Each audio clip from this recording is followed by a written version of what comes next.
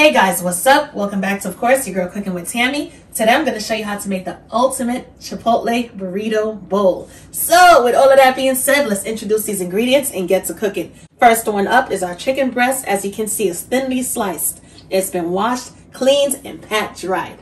And we also have our rice. I'm going to be using parboiled rice for this particular recipe. However, feel free to sub with brown rice, jasmine rice, basmati rice, totally optional. For our veggies, quick and easy, we have some romaine lettuce, jalapenos, lime, red onions, Roma tomatoes. Yes, we have the tomatoes on deck. And we also have our fresh cilantro.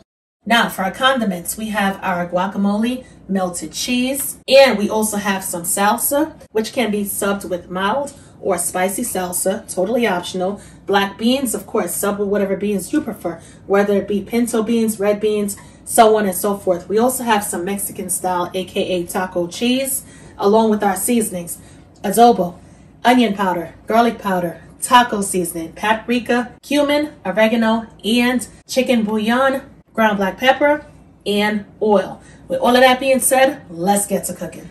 Water has come to a rolling boil, so it's about that time.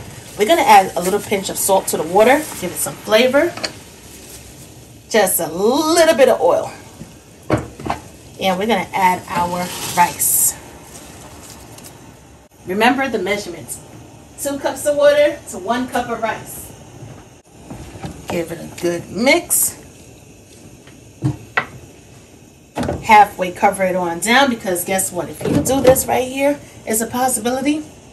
Once everything starts to come to a rolling boil once again, it's gonna bubble on over and make such a mess. So the best thing is open it up halfway and you'll be good to go. Allow it to sit here and do its thing. In the meanwhile, we got some veggies to chop up because we got to make some, guess what? Pico de gallo. We're going to take the stems off, place it to the side, and we need to focus solely on the cilantro leaves. All right? Boil it on up and get to chopping. Get in there some more. Chop it up really finely. And this cilantro right here is going to work not only for our rice, but we're also going to be using it for our pico as well.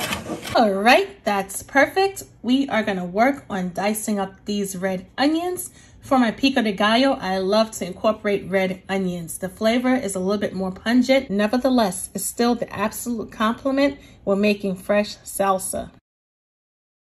All right, it's time to get in there and get that tomato. I want you guys to get in the habit of washing your veggies. If you're already doing it, then hey, do your thing. But if you're not, get into the habit of washing those veggies off because you want to remove not only the dirt, but you want to remove all of those pesticides and other elements that does not belong on your veggies.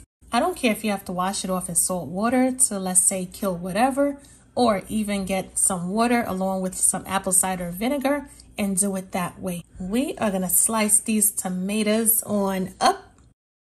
It's time for us to work with Mr. Jalapeno. First thing we're to do is we're to remove the top.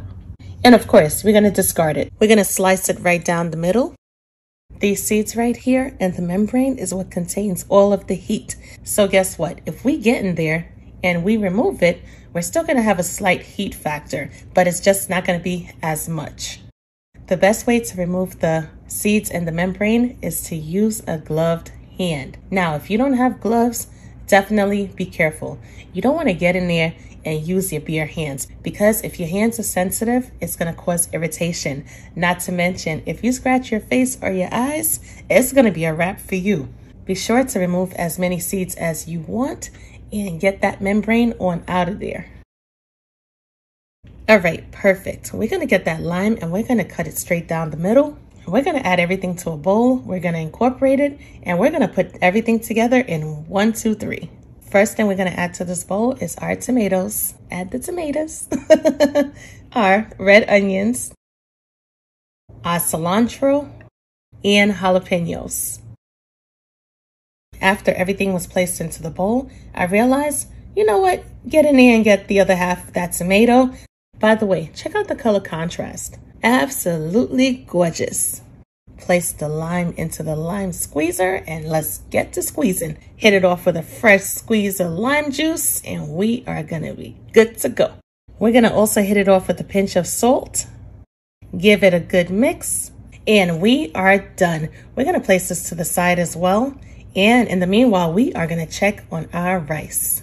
It's been a couple minutes later and our rice is finished. Using a strainer, we are to drain it on off and this is perfect texture right here. Once we're finished, we're to take it from the strainer, add it back to the pot and place it on the stove top or place it on a countertop. I mean, after all, we're not doing any more cooking when it comes to the rice. Chop some more cilantro, guys, and this is going to be for our cilantro lime rice. Our ricey rice. Yes, boys. To be for our rice. chop it on up, chop it on up. Okay. To this rice, we are to add the cilantro right here. If you don't like cilantro, guys, you're missing out big time. All right, we're to add a fresh squeeze of lemon juice. What am I talking about? We're to add a fresh squeeze of lime juice, just like that. We're to get in there with our spatula. We're going to incorporate everything. Make sure everything is perfectly mixed one in there. Mix it one in there. Mix it one in there. Let's get it. Now, here's the thing. We added the salt already to the water when we were like literally getting ready to boil the rice. So there's no need to add any more salt. We're done. First thing we're to do with our chicken breast is we are to add a small drizzle of oil, just like that. We're to add our adobo. Season to taste, of course. And yes, adobo has salt content, so you want to be mindful of that as well. We're also going to add our onion powder. When it comes to the non-salted seasonings, feel free to utilize as much as you need according to the amount of chicken or protein that you're working with. We're going to add our garlic powder. We're going to add our taco seasoning. Add that taco seasoning. And just in case you're wondering, where did she get taco seasoning from? This is a taco seasoning packet that I'm using. Mm -hmm. Nothing more, nothing less.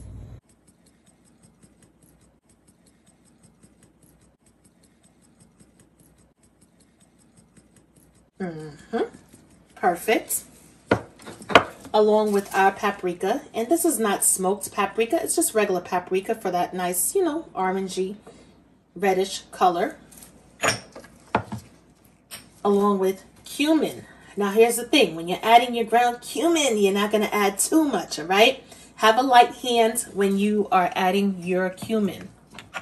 Ground oregano, same thing applies. Light hand, guys, light hand. All right.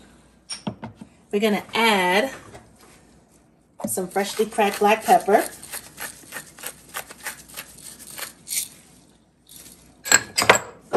Along with a little pinch of chicken bouillon for that nice chicken flavor. And we're going to take our hands and pat it on in there, just like that. Pat it on in there. Make sure it's stuck and stick and stuck, all right? pat it in, pat it in. Lock those flavors one in there. Just like that. Flip a root time, flip it on over. Boom. Same thing goes for one side along with the other side. Whatever goes for one side is going to work on the other side. So, same thing applies. Add that drizzle of oil, followed by some adobo.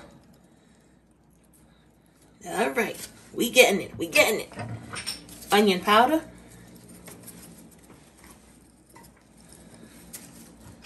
Garlic powder. Boom. Taco seasoning. Just like that. Add the taco seasoning, boy. Gotta shake it on out. He ain't trying to come out, so we gotta go in there and give it that little extra reinforcement. All right, paprika once again. Add the pap pap. Ground cumin, once again, that light hand applies to both front and back. Same thing goes when it comes down to the oregano.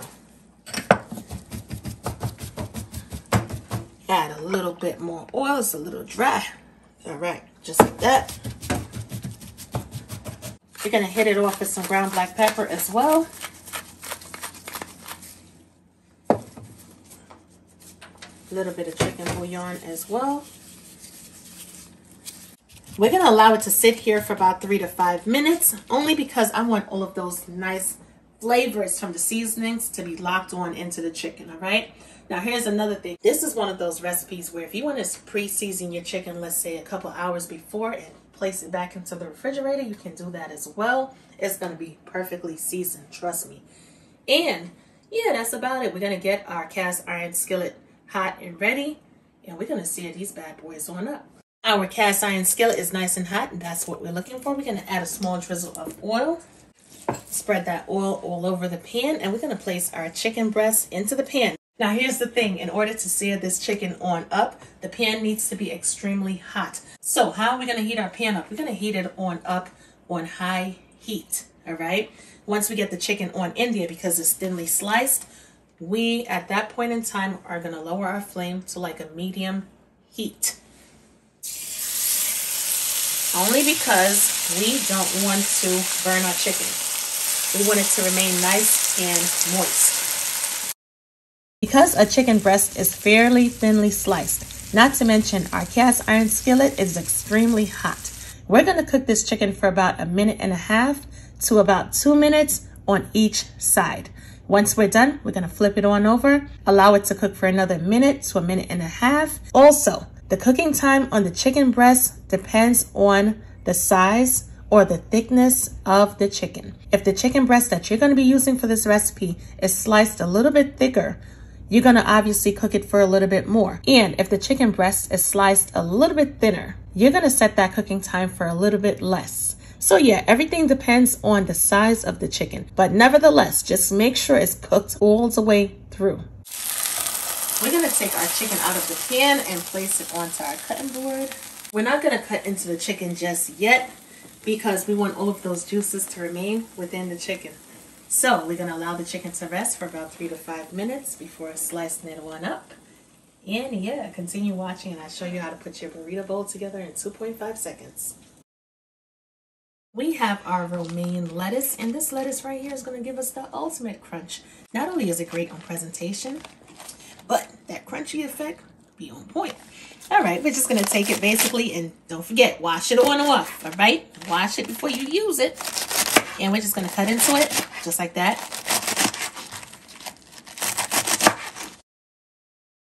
And that right there, my friends, is it. I love the crunchy, not to mention not only the texture, but just the look of it, the aesthetic of it is absolutely beautiful. Alrighty, what we're gonna do is we're gonna place our chicken right on the top of each other. And we're gonna slice into it, just like that. Check out all of those beautiful juices, not to mention the chicken is perfectly cooked. We are in business, guys. Yes, we are. Alrighty, slice it on up.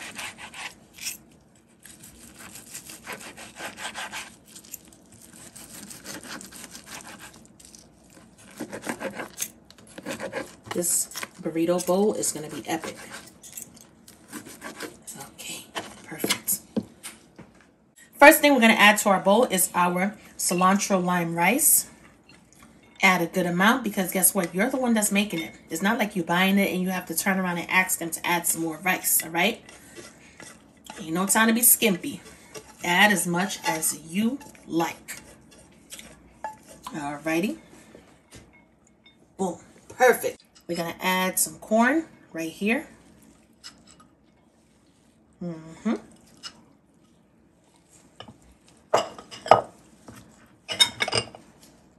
Along with our beans.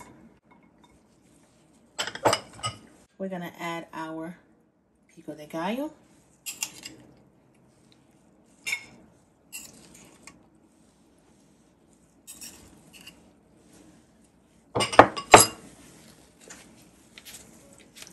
our guacamole, of course.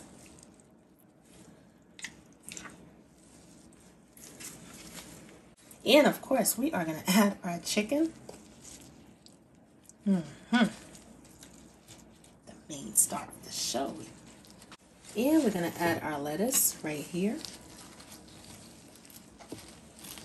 have a little space right there, so I'm going to add my cheese right there.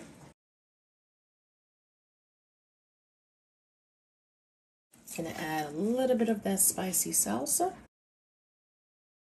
Not too much. And we're gonna hit it off with our melted cheese. And we have a small dollop of sour cream that we're gonna put right here. And what the heck, we're gonna go nuts when it comes to the chicken, all right, guys? Gonna add that chicken. This is our bowl, and we are going to do what we want to do and how we want to do it, all right? Mm-hmm. Now, if that's not a burrito bowl, I don't know what is. Definitely give this recipe a try, guys. Absolutely quick and easy, and most importantly, so delicious. As always, I'm your girl cooking with Tammy, and I will definitely catch you guys in another video. It's time to eat. Talk to you later. Bye, guys.